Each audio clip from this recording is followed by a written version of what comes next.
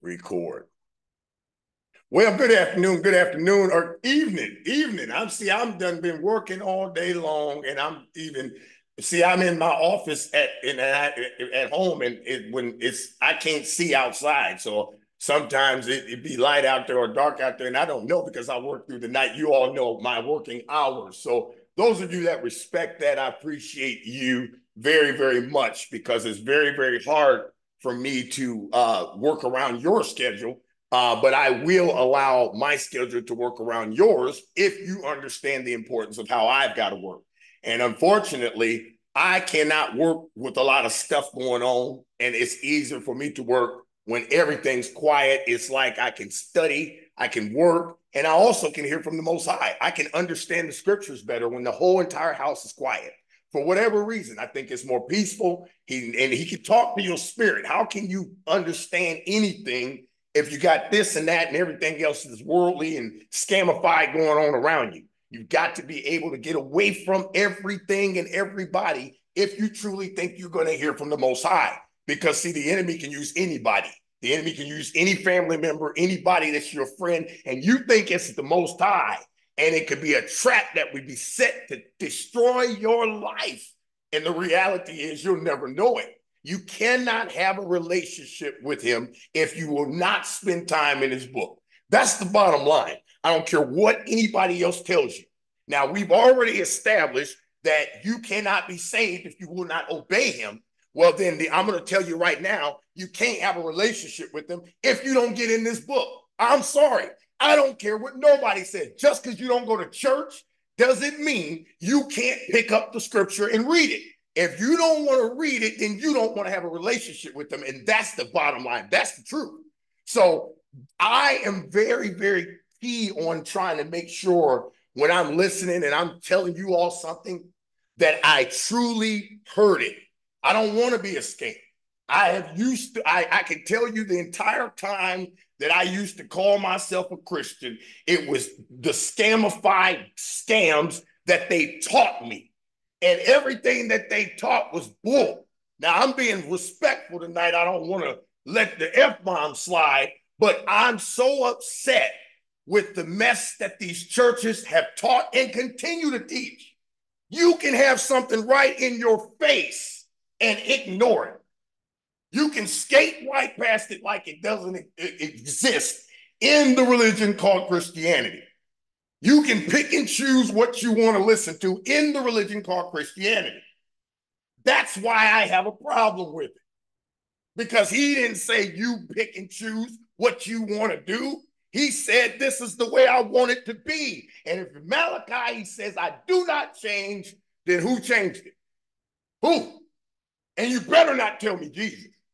Who changed it and who gave them the authorization to? If he said, I do not change, I, you know who I is. I am, is what they say. But we know his name is Yahuwah. I call him Yah when I want to really, when I, because I'm not going to uh, address him as God. You can continue to do that if you want to. But that clearly means that you're ignorant and you don't study at all because you can easily pick up the uh, Google, you look up everything else. Why can't you just Google and see what the word God means?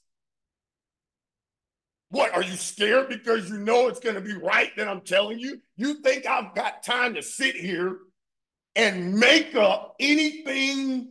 I've got customers that are waiting for me to get addressed to them. You think I've got the time to sit here and just make up anything? Go read it, study it out, pick it up, turn off the garbage that you watch it. The other day, I said a post the other night. I said, if you get off of the, the like some of the stuff that you see today, it's ridiculous. Now I got on women earlier. Y'all mad, but I don't care. You women need to understand that your home would be in better position, a lot of you, if you honor your husband like you honor every Negro in your life. Your pastor, you'll honor. Your boss, you'll honor. But the one nigga that the Bible says you should be honoring, you will not honor. Yes, I know I'm pissing you women off, but you know what? I don't care. I the Bible's not designed for me to listen to you. So the reality is, ignore what I'm what I gotta say. I don't care. But you better watch what you say about me. Because you don't understand that I am a true leader. And at the end of the day, I could care less how you feel about me. I'm trying to make sure that I correct my wrongdoings. What are you talking about? I got a lot of wrongdoings to correct. What I mean is all them people I preached Jesus to.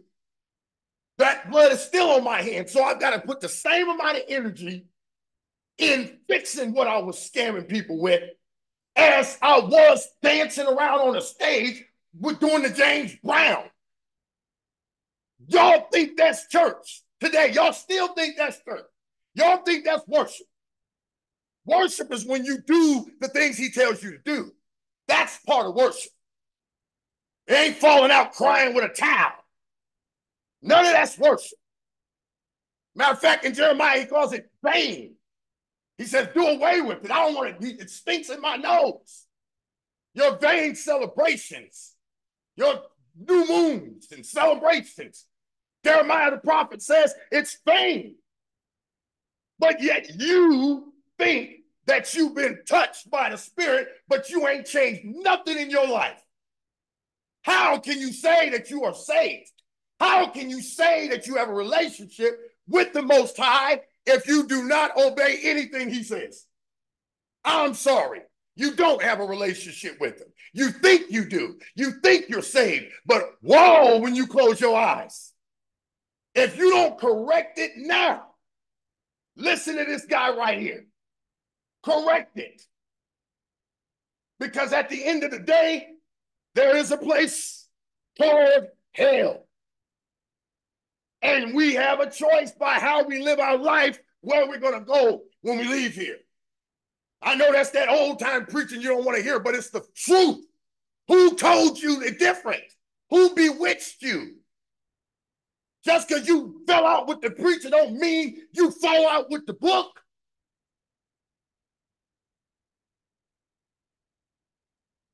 So now let me pull this scripture up so we can get this thing going. And then I'm going to close it out. All right, sharing screen right now. Get your Bible out. Y'all know how I am. First of all, go to the channel, Word on the Street, like it, share, comment, and please subscribe. We now have 13,564 subscribers. I want you to understand we got 1,300 of them in the last 30 days. So I really am appreciative of those of you that support what I'm trying to do. I'm not here to dance with you and play with you. I'm not here to get no offering out of you. If I want to sing or dance, I've got to I do I go sing or dance or play an instrument. So at the end of the day, it's not about anything you can do for me. It's about when I woke up to this, the main thing I wanted to do was correct it with everybody I know and hopefully get them to see what I saw. And it took the Most High to show me that everybody's not going to see it, so let them perish. So now, after you have done that, pull out your Bible, Hosea chapter 4. I just wanted to go there today. I was looking at uh, Jeremiah or Isaiah. I love all the prophets, so it really don't matter if we go from any book from Genesis to Malachi. I love it all. The preacher done convinced you not to listen to it.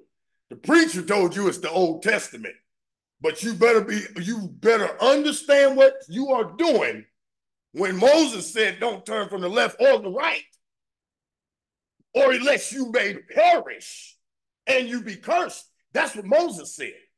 So you're to tell me that changed? You're to tell me that you're to sit here with a straight face and tell me that changed? I need to see the scripture. Preacher, don't get on my post or video and pull out your same scamified New Testament scriptures. I want you to show me in the book, because I know the New Testament well. It was a beautiful fabricated story. the law and the New Testament. The law and the New Testament. Which one do you want to listen to? Which sounds worse? Do, do we are we first graders here? All right, now we're in Hosea chapter 4. Now you know it, we're in the King James with the Apocrypha, but I've got issues with my Sefer pulling up. It always seems to do this every now and then. So we are in the Bible tonight. I'm with you guys in the book. Pull it out and let's look at it together. Now, what you will notice is I am never going to address the Most High as Lord. Although it says Lord in your book, my Apocrypha does not say Lord, but for tonight's purposes, we're here. And so when you see the word Lord, which is a title, and that title is a, a description, if you look it up, worshiping Baal, well, you continue to call him Baal if you want to, but I am going to call him Yah or Yahuwah.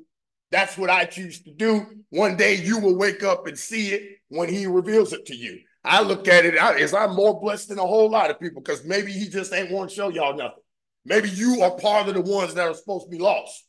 You realize that he created some to be lost. And so maybe you in that number.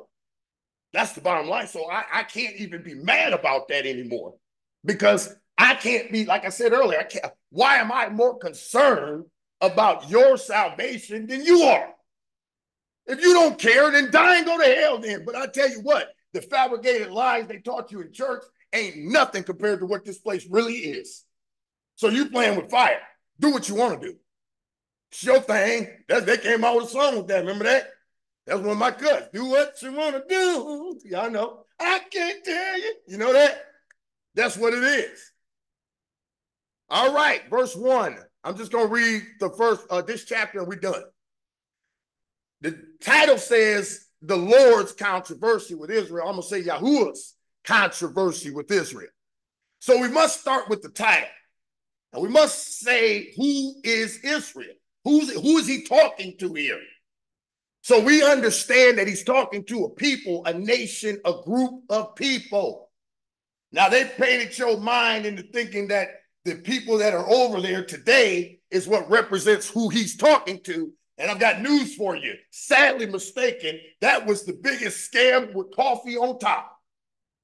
Because you and I represent Israel. And if you don't represent the same color as me, you still are part of Israel by belief. Y'all try me out, study me out. That's what the scripture says. So anybody can be part of Israel. So you racist bastards called Hebrew Israelites trying to be racist towards white folks, you're wrong. Because you can be part of Israel by heritage and belief. Belief means you're obeying his commands. So it don't mean I just woke up and said I believe in you. You would have to be obeying his commands in order to be part of Israel. Study me out. Verse 1 says, Hear the word of Yahuwah you children of Israel, he's talking to all of y'all, all of us, anybody that claims that they worship the Most High, anybody says that they worship and know that he breathed breath in your body, he's talking to you and me. He said, You children of Israel, for the Yahuwah has a controversy with the inhabitants of the land. What? Wait a minute. He, he got the counter with the land? Because there is no truth. Whoa, what, what, what, what, what, what? Nor mercy, nor knowledge of Yah in the land. Uh-uh. Y'all, y'all, this is what the prophet Hosea is saying tonight. By swearing and lying and killing and stealing and committing adultery, they break out and blood toucheth blood. Therefore shall the land mourn and everyone that dwells therein shall languish with the beasts of the field and with the fowls of heaven. Yea, the fishes of the sea also shall be taken away. Yet let no man strive nor reprove another, for thy people are as they that strive with the priest. So that's you arguing with the preacher. That's you just disrespecting the one that's trying to tell you about your soul.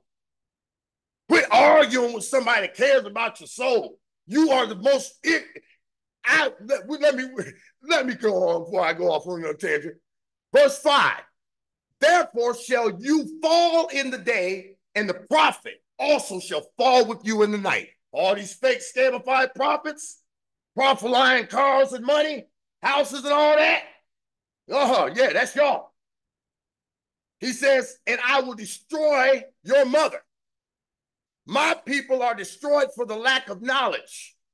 Because you have rejected knowledge. Wait a minute. I want you to hear this, you all, YouTube, TikTok, Facebook. I want you to hear what the Most High is saying through me tonight. Hear what he says.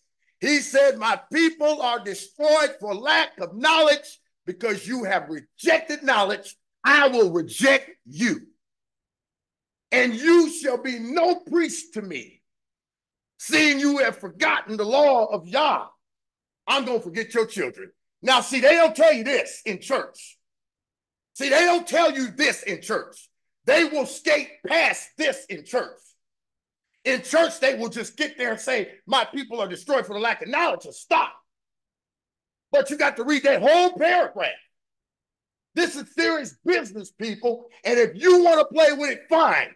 But you're giving your kids two middle fingers so don't sit here and tell me you love your kids. You're a liar. Because if you did, you would understand what this scripture is saying to the people. I'm the minister, M.L. Kimble. It's been my pleasure. You all have a beautiful night.